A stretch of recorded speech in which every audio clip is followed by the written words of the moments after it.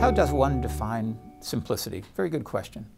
Um, to me, it is just uh, a distilled thought, uh, something that registers quickly, um, doesn't require a lot of explanation, seems intuitively obvious, that kind of a thing. And I think uh, a lot of businesses out there tend to put things uh, in terms uh, that require more, more thought, study, or whatever. And I think what made Steve Jobs such a genius was that he had this belief in the power of simplicity. And he wanted to ensure that his products embodied that and the way the company communicated with people embodied that.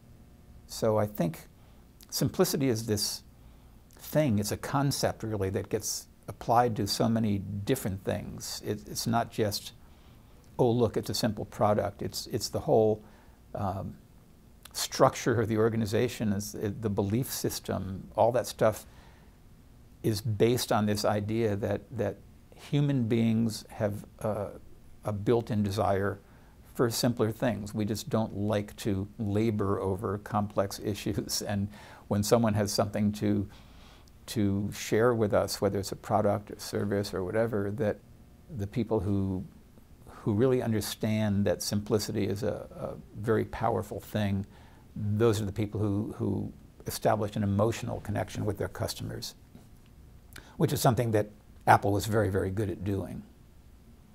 I do think that simplicity is one of the hardest things you can do. And it is deceptive in that way because it looks simple. um, the way I like to put it is that there is no such thing as simplicity, there is only the perception of simplicity. That every simple thing we see in this world, whether it's an iPhone, obviously years worth of research goes into making the little things that make an iPhone.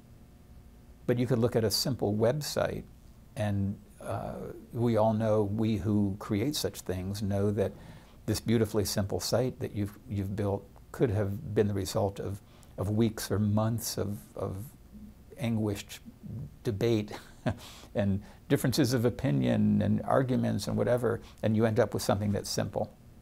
So what's really important is the perception of simplicity. Uh, that if, if someone walks away from the experience and feels that it was simple, that's you know mission accomplished. But I think getting there is really, really hard. It requires all that commitment and uh, energy.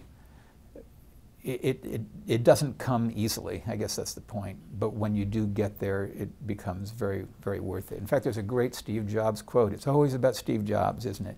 Um, where he said that um, it, it takes a lot of hard work to make something simple, but it's worth it in the end because once you get there, you can move mountains. And I think those are great words to live by. But he understood that that was the, the, the challenge for Apple was to take really cool products and really cool capabilities and put them in a, in a form that, that people could so easily relate to and, and take advantage of without thick manuals and that kind of a thing. So that's the real work is, is making great things simple.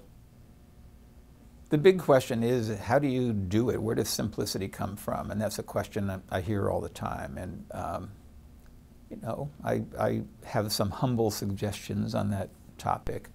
Um, I think because simple is such a simple thing, it comes along with some simple advice. And I think that one of the most important things you can do is simply step back and look at your, what you're doing through the eyes of the customer. I believe that that was Steve Jobs' amazing strength, that he looked at this experience that Apple was creating and he looked at it with a super critical eye. What would he think as a customer?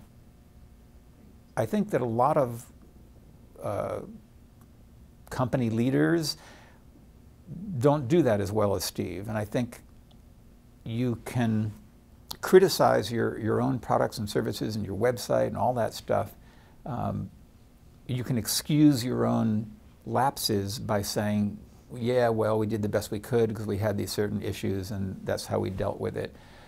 But that's the difference between you know, a regular person and a Steve Jobs kind of a person. Steve was just, I'm sorry, no compromises allowed, and if you suggest to me that we're going to compromise, you know, your future here is probably not very good.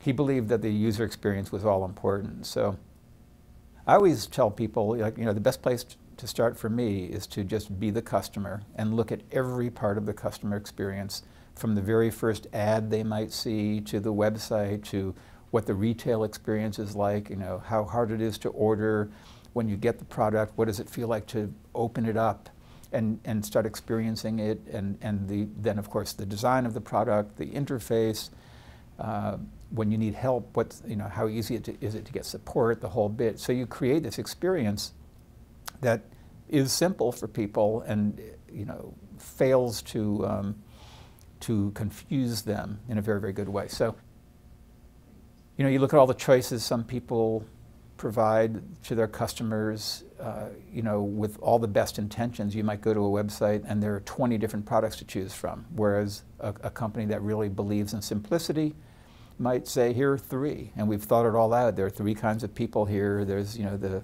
small, medium, and large, or whatever it is, um, that make it easy for you to make a decision, rather than, than, you know, force you to think too hard and then wonder after you made the purchase whether you might have made a big mistake, that kind of a thing. So I think Apple, again, has been very good at, at doing that kind of a thing. So its customers go away feeling pretty confident that they got the right thing and they enjoy the experience.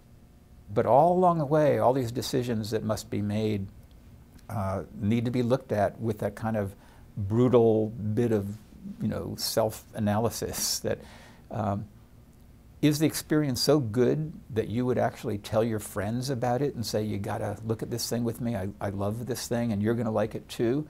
Or is it just kind of like, okay, and you know, I'd buy it and then, you know, I'm not sure if I'd tell anyone about it, but that's, you know, it, it worked for me, that kind of a thing.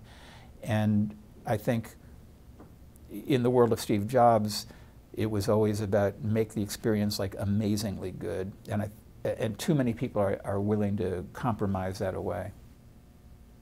Simplicity requires that kind of that that brutal assessment of what is really really good versus what's good enough. And what's good enough isn't good enough. It's got to be really really good. Okay so you're mr simplicity. What about your personal life how simple is that and the answer is not at all really and i'm working on it but i think simplicity is something that works in business and it should work in your personal life as well. Um, and it, it's, it's a gratifying way to live and work, I think. There's something very satisfying about having this kind of space in your life and the order and the lack of clutter and the, and the firm direction.